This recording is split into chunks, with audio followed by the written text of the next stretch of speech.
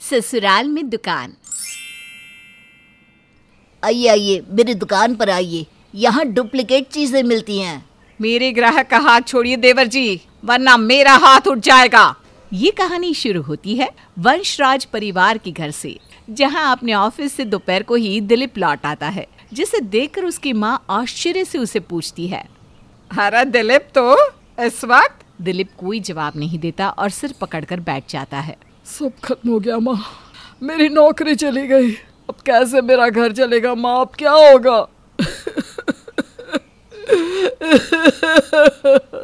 उसकी आवाज़ सुनकर सभी वहाँ इकट्ठे हो जाते हैं। पर आप तो उस ऑफ़िस में कितने सालों से थे जी? फिर उन्होंने आपको क्यों निकाल दिया? वही तो नीलिमा कितने ऑफर्स आए थे मुझे बाकी कंपनियों से पर मैंने कभी अपनी कंपनी के साथ धोखा नहीं किया। और आज उन्हें सस्ते में काम करने वाले एम्प्लॉयज़ मिल रहे हैं तो उन्होंने मुझे ही सड़क पर ला खड़ा कर दिया। मैं बर्बाद हो गया नीलिमा मैंने तुम्हारे घर वालों को वचन दिया था कि तुम्हें कभी भी भूखा नहीं सोना पड़ेगा पर मुझे पता नहीं अब क्या होगा आगे। अरे शुभ शुभ बोलिए जी। आप में बहुत टैलेंट है। कोई ना कोई नया काम मिल ही जाएगा जी। और अभी हमारी हालत ऐसी भी कोई खराब नहीं है। मर गया हूँ क्या मैं? जो तू फूट फूट कर रो रहा तेरा बाप अभी ज़िंदा इन बूढ़ी हड्डियों में बहुत जान है बेटा। मेरे खाते से जो पैसे आते हैं उससे तेरा घर चल जाएगा। परेशान ना हो। भाजी अपनी सेविंग अकाउंट का इंटरेस्ट चीर जी को दे देंगे। तो रसोई में वो जो पैसे देते हैं वो भी शुभ जी को ही पूरी तरह से भरने पड़ जाएँगे। सारा लोड तो हम पर ही आ जाएगा। हम्म, यही बाकी था बस। मुझे बोलना तो नहीं चाहिए जेठ जी पर ये भी तो ऑफ़िस जाते हैं। अगर आप में काबिलियत है तो ऑफ़िस वाले आपको निकाल ही नहीं सकती। याद कीजिए आपसे कोई गलती तो नहीं हुई ना? क्या ये समय है ये सब बोलने का बहू? तुम में अकल वकल है कि नहीं? दिलीप को अपने घर वालों की बात सुनने के बाद हिम्मत मिलती है और अगले दिन से ही वो नए काम की तलाश में निकल पड़ता है। समय का करिश्मा देख रहे हैं दिलीप जी? मेरा मैनेजर सामने से आपके पास ऑफ़र लेकर गया था। पर उस वक्त तो आपको अपनी कंपनी के साथ लॉयल्टी निभानी थी। उस दिन अगर आप मुझसे हाथ मिला लेते तो ये दिन नहीं देखना पड़ता आपको। खैर मेरे ऑफ़िस में ऑलरेडी नीड से ज़्यादा एम्प्लॉयज़ है मैं आपको नौकरी पर नहीं रख सकता। दिलीप कई कंपनियों में इंटरव्यू देता है पर उसे कहीं भी काम नहीं मिलता। माँ मैं बुरी तरह परेशान हो गया हूँ। कोई काम ही नहीं मिल रहा। न जाने कैसे काम मिलेगा मुझे। मुझे तो लोगों की दलाली करना पसंद ही नहीं बेटा। तुम लोग ऑफ़िस ज्वाइन कर रहे थे तब तो मैं पहले से कहता था कि खुद का काम कर लो वही अच्छा है। खुद ही मालिक खुद ही नौकर। देख तू मेरी बात मान और कोई बिज़नेस कर ले। कोई दुकान खोलने के लिए भी तो रेंट पर दुकान लेनी पड़ेगी ना बाबूजी दो तीन महीने तो दुकान को सेटअप करने में ही चला जाता है। तब तक फिजुल में बैठे बैठे रेंट चुकाते रहो। तुझे बाहर क्यों जाना है? हमारे घर के नीचे ही खोल ले दुकान। थोड़ा रिनोवेशन में पैसा लग जाएगा वही ना? और क्या होगा? पर जगह तो अपनी ही रहेगी। वाह पिताजी ये तो मैंने सोचा ही नहीं था। बाप बाप होता है बेटा। दिलीप अपने घर के नीचे ही दुकान बनवा लेता है और उसमें राशन का माल गिरवा लेता है। आपका काम सही से चल पड़े भैया। भगवान कर ऐसा ही हो। वैसे तो लोग अभी से ही मेरा नंबर लेने लगे हैं। मोहल्ले वालों ने तो पहले ही कह दिया कि अब वो महीने का राशन मुझसे ही लेंगे। मैं तो कहता हूँ शुभ तू भी मेरे साथ इस बिज़नेस में आ जा। तू अपने ऑफ़िस जाया करना पर तेरी भी इसमें हिस्सेदारी रहेगी तो अच्छा ही रहेगा। संडे को तू भी हिसाब देख लिया करना। तो क्या ये दुकान मेरी नहीं है भैया? तुम भी ना।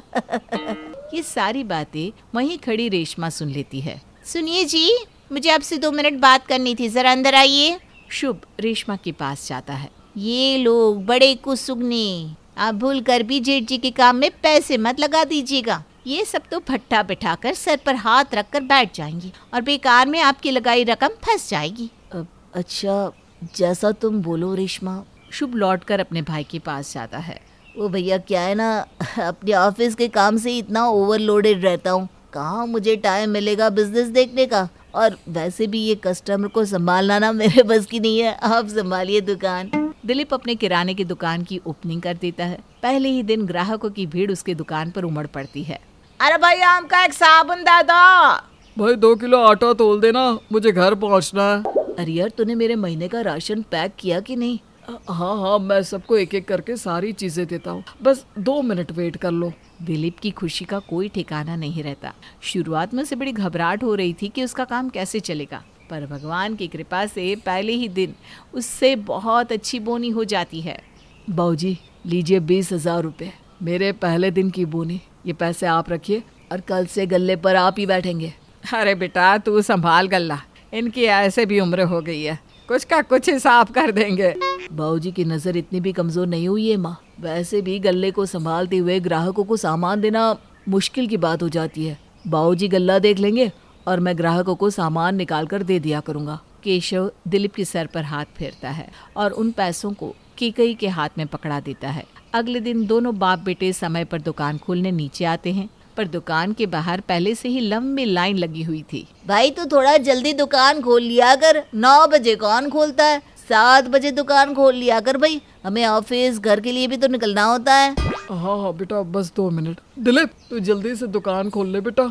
दोनों फ़ौरन दुकान खोलते हैं। दिलीप ग्राहकों को राशन का सामान निकाल कर देता जाता है और केशव सबसे पैसे लेता है। आपने सही कहा था पिताजी। मुझे बिज़नेस करना चाहिए था। अस्सी हज़ार की कमाई। मेरे तो आँसू नहीं रुक रहे और ये सब ना आपकी सलाह से हुआ है पिताजी। तो तुझे क्या लगता है?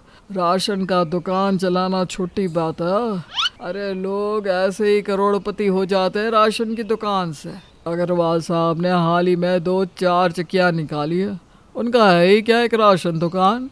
दिलीप जो पैसे कमाता उसे अपने माँ बाबू जी को दे दिया करता। दिलीप के बढ़ते मुनाफे को देखकर रेशमा अंदर ही अंदर जलने लग जाती है और उसे अपने पति को दुकान में हिस्सेदार ना बनने देने पर बड़ा अफसोस होता है। न जाने मुझे किस काले कुत्ते ने काटा था। आज शुभ जी भी इस राशन के बिज़नेस में होते तो रोज कितनी कमाई होती। हमारी दुकान तो ऐसे भी जेठ जी संभाल रहे थे। बैठे बैठे आमदनी हो जाती। मैंने न जाने किस घड़ी में उन्हें दुकान का हिस्सेदार बनने से मना कर दिया था। पर अब तो कुछ करना पड़ेगा।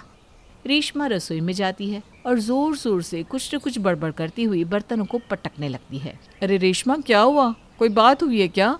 हाँ हाँ बात तो हम ही करने वाले हैं ना। यहाँ पर बाकी सब तो मौन साधे बैठे रहते हैं। अरे क्या हो गया रेशमा? इतने ज़ोर ज़ोर से क्यों चिल्ला रही हो? अब जब घर के माँ बाप ही बच्चों में भेदभाव करने लगे इंसान कुड़ कुड़ तो करेगा ही ना। अब शुभ जी ठहरे श्रवण कुमार। माँ बाप के प्यार में अंधे।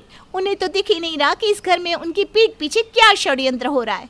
आप लोगों ने तो दुकान के नाम पर घर का नीचे का आधा हिस्सा अभी से ही जेठ जेठानी को दे दिया। चुप! एक शब्द और नहीं। अब जब घर के माँ बाप ही बच्चों में भेदभाव करने लगेंगे तो इंसान कुड़ कुड़ तो करेगा ही।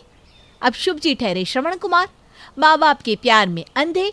उन्हें तो दिख ही नहीं रहा कि इस घर में उनकी पीठ पीछे क्या षड्यंत्र हो रहा है। आप लोगों ने तो दुकान के नाम पर घर के नीचे का आधा हिस्सा अभी से ही जेठ जेठानी जी को दे दिया। ये सब क्या बोल रही है तो बहू? साफ़ साफ़ बोल। अब जो दिख रहा है वही बोल रही हूँ ना माँ जी। उसमें और क्या साफ़ कहूँ? नीचे का पूरा हिस्सा तो जेठ और जेठानी जी हड़प कर बैठे हैं। शुभ जी का काम कुछ अच्छा नहीं चल रहा। सैलरी तो बॉस ने आधी कर दी।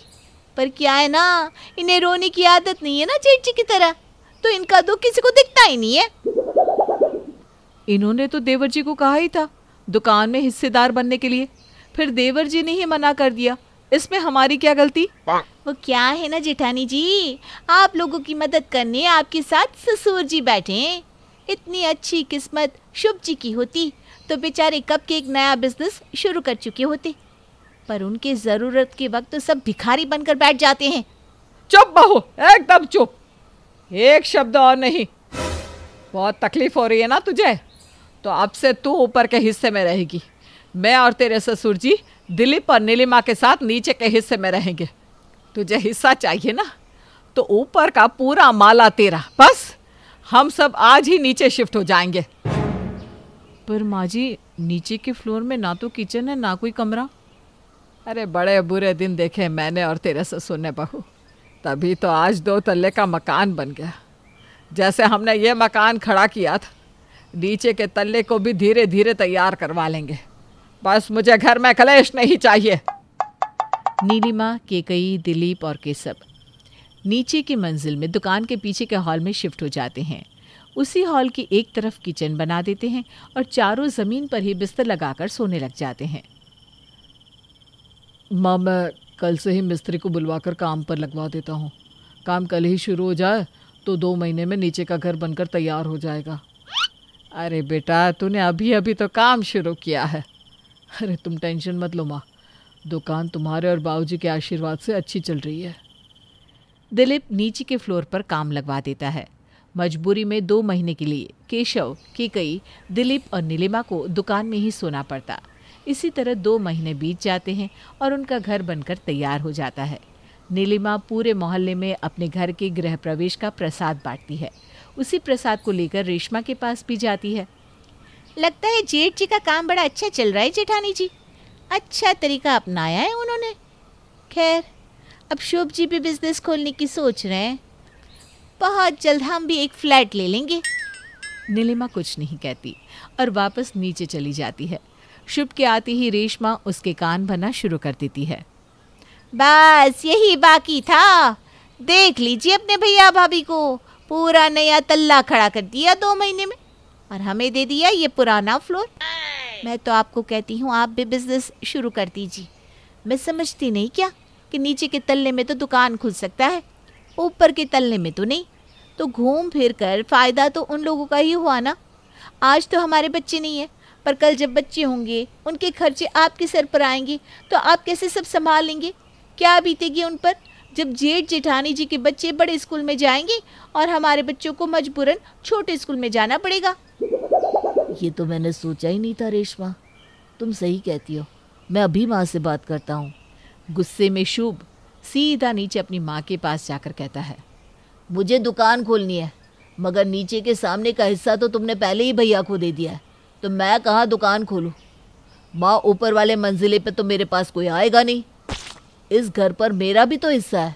अगर ये बंटवारा सही से होता तो नीचे में दुकान का आधा हिस्सा मुझे मिलता। कुछ नहीं तो मैं अपने हिस्से को किराए पर लगाता तो कम से कम पंद्रह हज़ार रुपये तो आते। अरे कम से कम उससे मेरा घर तो चल जाता। किसी के सामने मुझे हाथ तो ना फैलाना पड़ता। ये सारी बातें दिलीप सुन लेता है और सीधा गले से पंद्रह हज़ार निकाल कर शुभ के हाथों में रखते हुए कहता है तुझे पैसे की ज़रूरत है ना? तो गला खुला है। पिताजी से पैसे ले लिया कर। ये ले पंद्रह हज़ार। समझ लेना, तेरे किराएदार ने तुझे भाड़ा दे दिया है। हर महीने पंद्रह हज़ार तेरे पास पहुँच जाया करेंगे। शुभ कुछ नहीं कह पाता और उन पैसों को लेकर वापस अपनी पत्नी के पास आ जाता है। बस, बना दिया उन्होंने बेवकूफ़ आपको। आप ना सही में बड़े भोले हैं, शुभ जी। जरा सोचिए, जेठ जी आपको पंद्रह हज़ार देने राज़ी क्यों हो गए? क्योंकि वो जानते हैं कि इसी दुकान से उन्हें लाखों की कमाई हो रही है तो पंद्रह हज़ार देकर इसका मुँह बंद करवा दो। मुझे तो एक ही रास्ता समझ में आता है कि हम भी जेठ जी की दुकान के ठीक सामने अपनी किराने की दुकान खोल दे। और होता भी यही है, शुभ अपने भाई की दुकान के ठीक सामने किराए पर दुकान लेकर राशन की दुकान खोल लेता है। सुबह से तो एक ग्राहक नहीं आया रेशमा। भैया ने तो जब दुकान खोली थी बाहर लंबी लाइन लगी हुई थी। अब जब घर वाले ही कमाई पर सांप की तरह बैठ जाए तो कमाई हो कैसे? Sale sale sale. महीने का राशन एक साथ ले जाने पर दो सौ रुपए का फ़ायदा। ए वन क्वालिटी का खाना है अगर खाना तो राशन शुभ किराने वाले से ही ले जाना। दोनों की आवाज़ सुनकर कुछ लोग वहाँ पहुँचते हैं।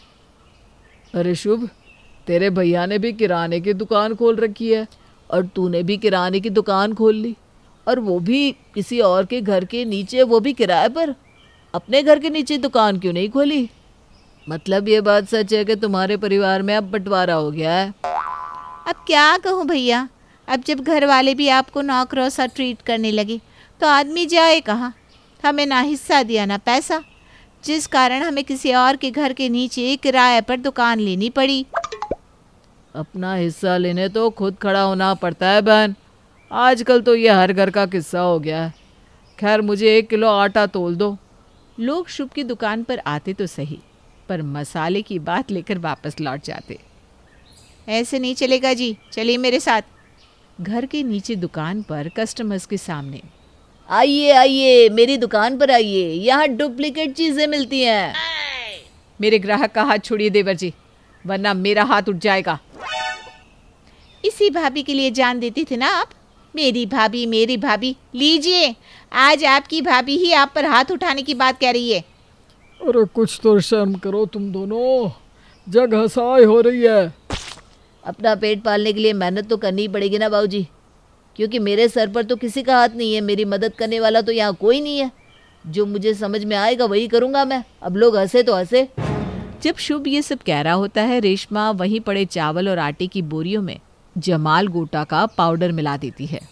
छोड़िए जी, इन लोगों से बात करके कोई फ़ायदा नहीं। हमें तो दो पैसे कमाकर अपना घर चलाना है। चलिए दुकान पर चलते हैं। ग्राहक आकर दिलीप की दुकान से राशन लेकर जाते हैं जिसे खाकर उनकी तबीयत बिगड़ जाती है और एक साथ कई सारे लोग उसकी दुकान के बाहर तमाशा करने लगते हैं। मारो इसे।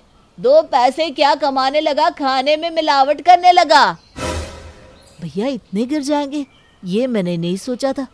लोगों की सेहत के साथ भी खिलवाड़ करने लगे अब ये लोग। धीरे धीरे लोग दिलीप की दुकान छोड़कर शुभ की दुकान पर जाना शुरू कर देते हैं। शुभ का काम बड़ा ही अच्छा चलने लग जाता है। और एक दिन जब वो गले पर बैठा हुआ होता है, अचानक उसके सीने में दर्द उठता है। अपने पति को तड़पता देख रेशमा ज़ोर ज़ोर से चीखती है, जिसे सुन दिलीप उसकी पत्नी और बाकी सभी लोग भी वहाँ पहुँचते हैं।